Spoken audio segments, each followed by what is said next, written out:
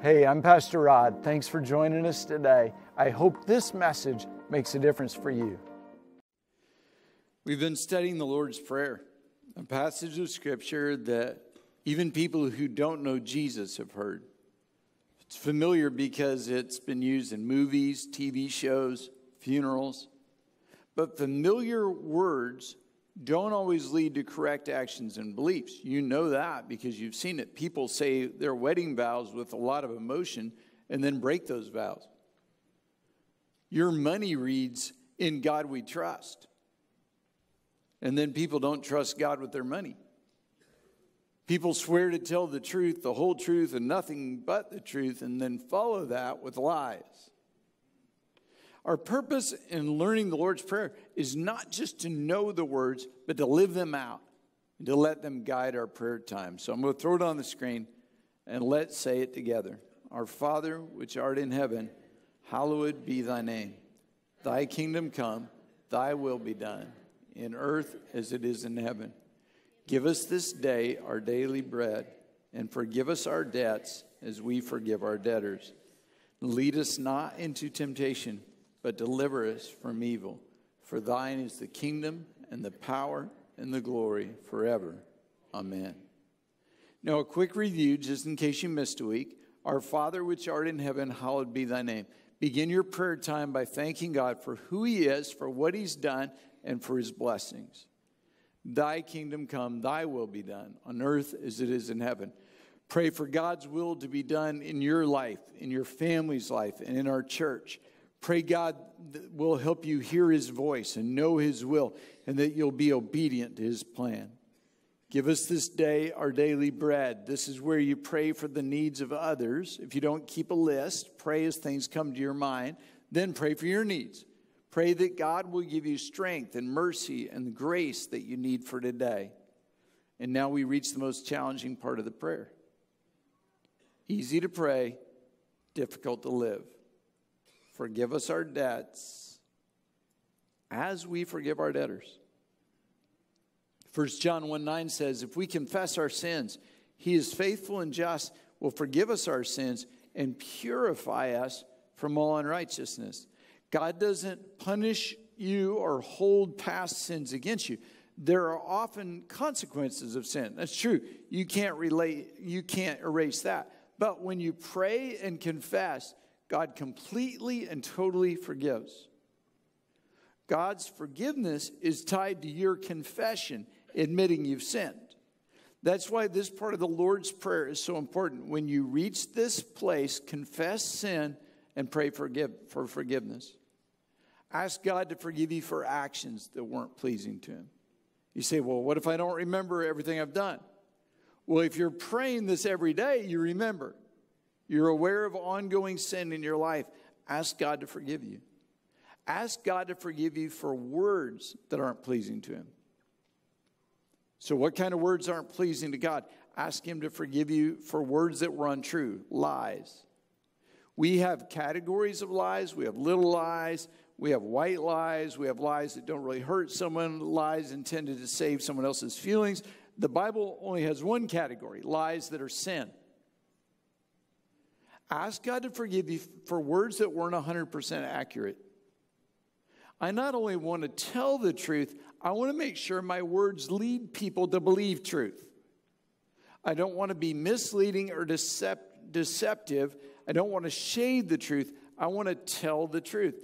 If your words that aren't quite a lie cause someone to believe a lie, you lied. Maybe you've used a few of these. Well, I'm on my way. You started walking the moment they asked, Where are you? Come on. You get mad if your kids do that, but you do it. Your boss asks, How's it going? And you answer, Well, I'm not quite finished with that project yet, meaning you haven't started. Or you say, Well, I was about to send that to you. I'll be at my computer in 20 minutes, meaning I'm going to do as fast as I can. Well, I didn't say that, meaning I didn't say exactly those words. You missed a word.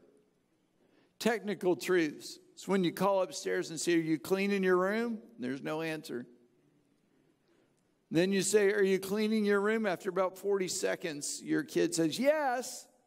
Well, we know what they're doing. They're playing video games. And they had to finish that game before they started doing what you were, they were supposed to be doing before you asked what they were doing. Ask God to forgive you for words that were hurtful to others. They may even have been true, but they weren't necessary. I call them loose words. I don't want loose words to come out of my mouth. The Bible is very clear words can be sin. Ask God to forgive you for taking the Lord's name in vain, for cursing using the name of God. That's pretty clear, one of the Ten Commandments. Ask God to forgive you for gossip, sharing bad reports, or talking negatively and critically about others. See, we have a tendency to excuse gossip if it's true, or because we say stuff like, well, that's just my personality, or I live in the South, that's what we do. We have excused gossip in the church for far too long. Gossip hurts the heart of God and causes damage in his church. There is not an acceptable excuse. Gossip is sin for which you need to repent and ask God's forgiveness. It is not oversimplification to say if the church would get this right, we would make great strides towards reaching our country. Ask God to forgive you for words that don't represent Jesus well. I'm very careful not to criticize other churches or pastors. I don't represent Jesus well if I'm criticizing his people. I want my words to accurately reflect the love and grace of Jesus. And you could look at that list and say, Rod, that's a high standard. I'll be praying for forgiveness of my words every day. That's a good thing as you pray for forgiveness, then you'll become more aware of what comes out of your mouth. You say, Well, if I can't say that stuff, I won't say anything. yeah, we'll all be better off. As you pray, ask God to forgive you for actions, for words, and for attitudes that didn't please Him. Your attitude can invalidate your testimony. Ask God to forgive you if your attitude was bad towards your parents, towards your children, your boss, your coworkers, your spouse, your spiritual authority. Ask God to forgive you if your attitude is bad towards people who are different than you. Ask God to forgive you for a negative attitude, a critical attitude, for being argumentative or demanding, any attitude that isn't pleasing to Him. You say, Well, how do I know what attitudes don't please God? Well, the Bible tells you. And then, as you pray and ask for forgiveness, God will bring things to your mind. As you ask forgiveness for your attitudes, it will make you more aware when your attitudes don't please Him. Ask God to forgive you for actions, words, attitudes, and disobedience. If you've disobeyed God's written word, if you've disobeyed his commands, or if God prompted you to do or say something that you didn't do, ask for forgiveness. So that's the first part of the verse forgive us our debts. The second part of the verse is where it gets challenging. Forgive us our debts as we forgive our debtors. We hear the word debts and we think credit cards or car payments. Some translation uses the word trespasses. I think a good word is sin or offense. Forgive us our sins and offenses as we forgive the sins and offenses of others. In ordinary talk, Jesus taught the disciples and us to pray this way Lord, please forgive me the same way I forgive others. And help me forgive others the way I want to be forgiven.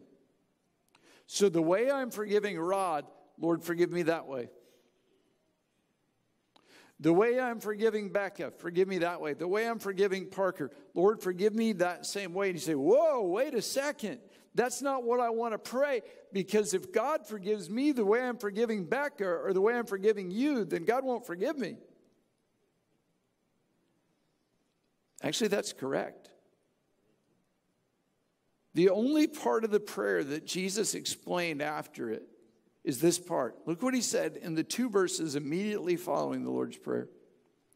For if you forgive men when they sin against you, your heavenly Father will also forgive you.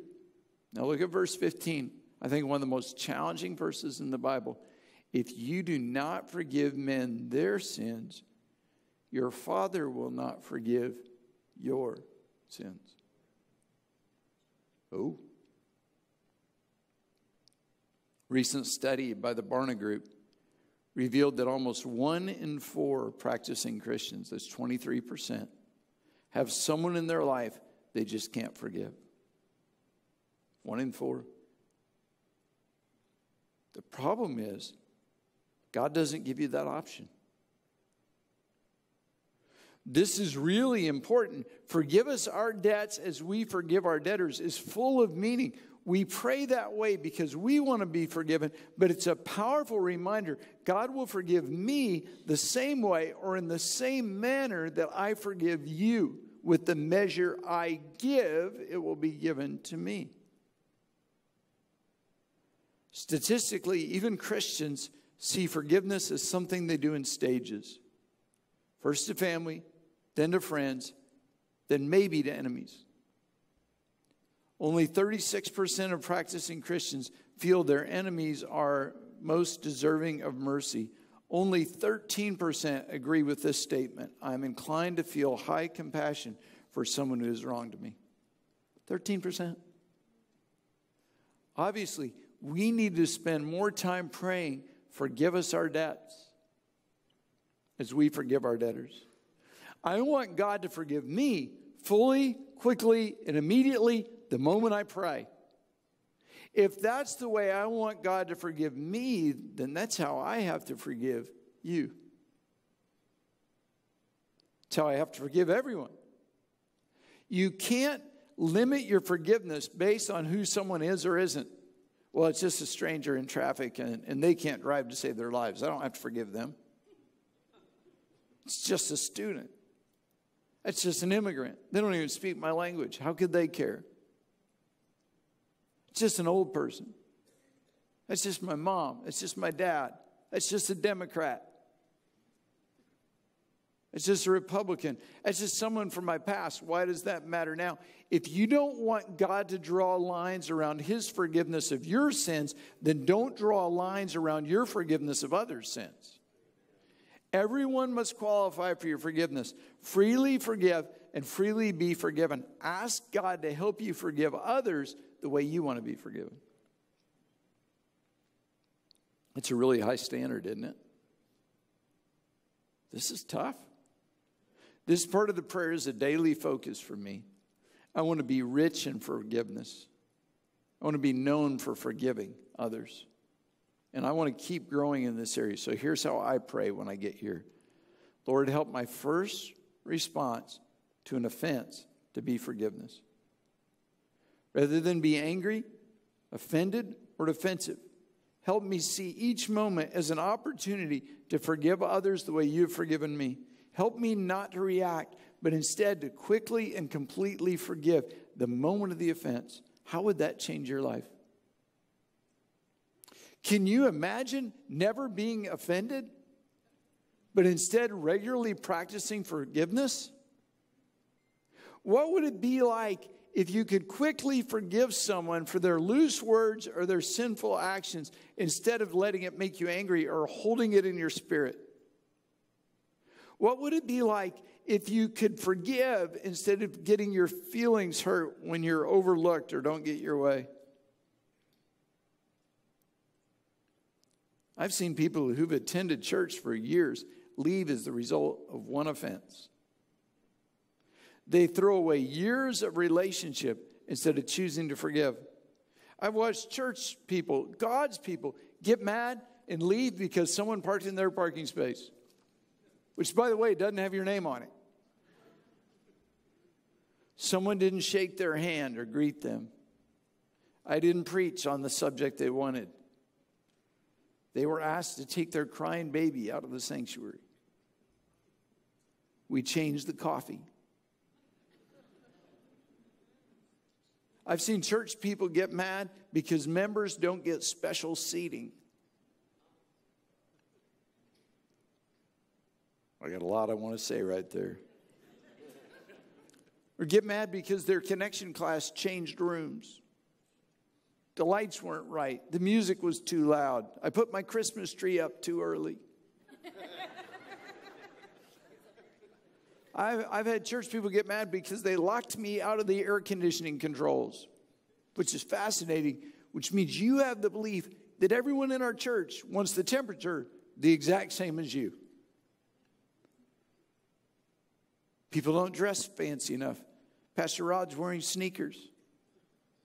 That's true. I started wearing them about a month, month ago because preaching four times a weekend helps, it helps my back feel better when I'm, when I'm wearing sneakers. So I'm hoping that somehow the word of the Lord can still be delivered if I've got sneakers on my feet.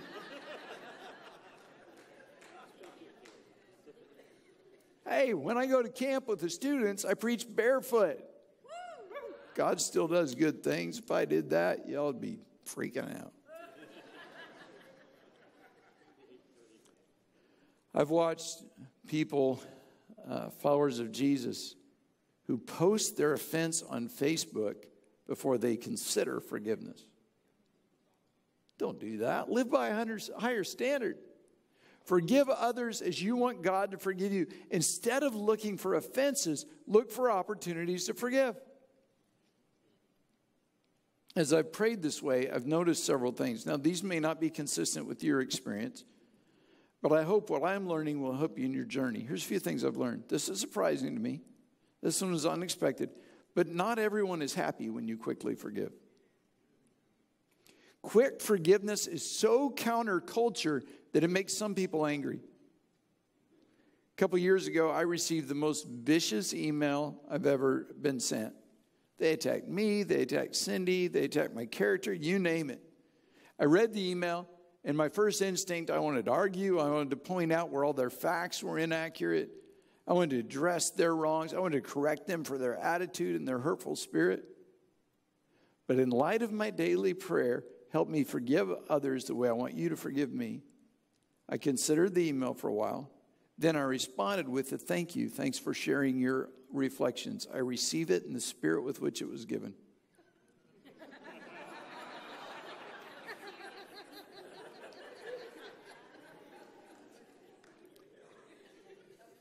And then I added a few words of blessing. That made them even more mad.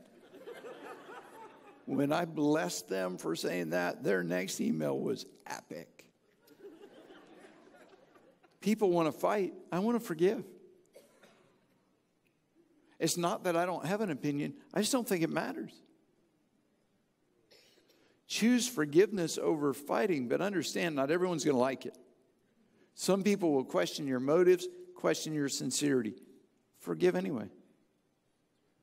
On another occasion, I quickly forgive and the forgave. The problem came when someone else saw my forgiveness and they didn't think I should forgive. And they didn't understand why I would forgive that quickly. They didn't want me to communicate love and kindness. They wanted me to pronounce judgment. They were angry because I was too forgiving. You know, I decided if I'm going to be accused of something, that's what I want to be accused of. Even though everyone may not understand, forgive. Forgive others the way you want God to forgive you. Each time I pray through the Lord's Prayer, I pray and I forgive people. I call them by name. Some things clear from my spirit quickly. Other times, forgiveness is a process. Rather than hold on to that offense, I call their name every morning. Lord, I forgive Rod. I choose to forgive him. I will treat him and act towards him with love and forgiveness. Help me forgive today. As you pray to forgive, here's what will happen God will bring to mind things that need forgiveness applied. God has reminded me of past hurts, words that were said, things that were done. Sometimes I find myself praying to forgive people for things that happened years ago, things I've held in my spirit way too long. As God brings them to mind, I pray and I release them from my anger. I call them by name. God, I forgive Jackson. Forgive me, Lord, for my unforgiveness. regardless of what they said or did, I don't want unforgiveness in my heart because when you hold it in your heart, it comes out in ugliness. You say, Pastor Rod, if God does that, if He brings to mind everyone I need to forgive, I'll never make it to work. Good. Allowing God to lead you through that process is life changing. As you pray to quickly and completely forgive, God will give you opportunities to put that prayer into action. One morning, it's been a long time ago, as I was praying, God help me forgive others the way I want you to forgive me. The email alert sounded on my phone in the middle of that prayer of forgiveness. Now, I didn't stop to check my email because I don't want to spend that, send that priority message to God. But when I finished, I opened the email. And it was an apology from someone who'd made anonymous threats against me and my family that caused a lot of anxiety and uneasiness. He confessed that he was the source of the threats and asked for my forgiveness. Let me tell you, that's challenging. Standing up to speak, knowing someone's vowed to hurt me, is an interesting experience. I learned trust and to rely on God's peace. The human side of me also tends to notice every time the door opens. So do me a favor, stop that. Don't leave unless you have to. Anyway, this guy made threats against me and my family. Now, I've learned to deal with it when it's me. That's part of the deal. It's a little more hard to process when it's my family. We had a family meeting. We walked through what to do if he followed through. We increased security at the church. The police department stepped up patrols in our neighborhood. And now he was apologizing after all that. My first reaction was anger. I wanted to fire off a pretty tough response. And then God whispered in my spirit, What did you just pray? How do you want me to forgive you? And I sent an email of forgiveness. I thanked him for his confession and expressed my forgiveness. Was that easy? No. Was it right? Absolutely. It was right. How important is this? Jesus said in Mark chapter 11, when you stand praying, if you hold anything against anyone, which seems to cover about everything. Right? If you hold anything against anyone, forgive him, so your Father in heaven may forgive you of your sins. In other words, interrupt your prayers and forgive. Make forgiveness an absolute top priority. Understand, unforgiveness doesn't hurt the other person, it hurts you. You're truly free when you forgive. And as you learn to forgive and be free, God will give you opportunity to minister to others who are held captive by resentment and unforgiveness. You can point them to the same freedom you've found. If you've confessed your sin, if you've committed your life to Jesus, you know what it means to be forgiven. You've experienced the peace and the joy and the freedom that comes from being fully completely forgiven.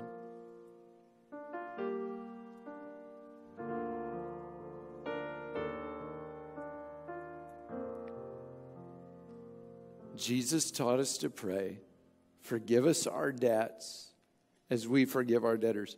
In your daily quiet time, as you pray for forgiveness, choose to forgive anyone who's hurt, offended you. Forgive them so you can be forgiven by God. And remember, the way you forgive them is the way God will forgive you. Give it a try. Start praying that God will help you fully, quickly, and completely forgive the moment an offense occurs. Instead of getting mad or offended, forgive. Instead of making an angry phone call or firing off an angry email, forgive. Instead of posting your criticism, anger, or frustration on your Facebook status or angrily reacting to someone else's status, forgive. Instead of telling everyone you know how bad that person is, forgive. Forgive before someone even asks, or if they never ask. Be known for your forgiven heart. And best of all, receive that same kind of forgiveness from God. How different would your life be if you walked in forgiveness every day? If you reacted to every possible offense with quick forgiveness? What would it be like if you looked for opportunities to forgive instead of opportunities to be offended? God predetermined his response to your sin would be forgiveness. Could you make that same decision in advance of the offense? Could you actually choose to forgive before someone hurt you? Is that possible? Here's my question How would your life be different if every time someone hurt your feelings, every time you didn't get what you wanted, every time someone made a decision you didn't like, if every time your response was forgiveness, what kind of witness would that be to your friends, to your family, to your coworkers? If an entire church family decided to live that way,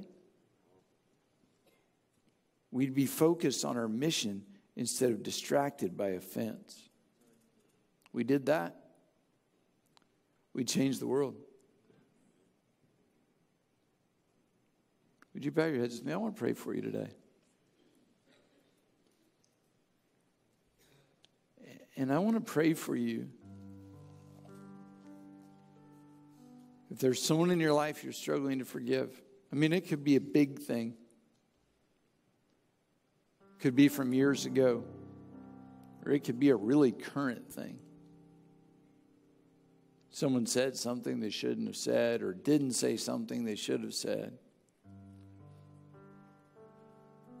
They did something, and you're, you're nursing that hurt. You're replaying the hurt and getting angry every time you think about it, every time you talk about it, instead of forgiving. Lord, would you help us? Because we see in your word that this isn't an option, that we've got to do this, we've got to process through this. Because we, Lord, we've done a lot that we need to be forgiven for by you.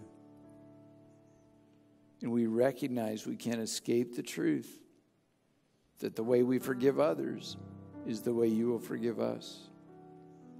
So I pray, Lord, that in the next few minutes, as we pray together, that some people in this room, some people watching online, will have a breakthrough of forgiveness. And they will, they will bring an offense or a hurt to you.